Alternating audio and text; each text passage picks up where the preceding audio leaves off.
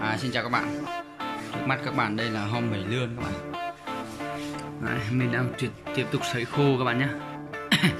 Sấy khô. Đấy, Cho nó bền, cho nó đỡ mốc. Đây là hôm 60 này.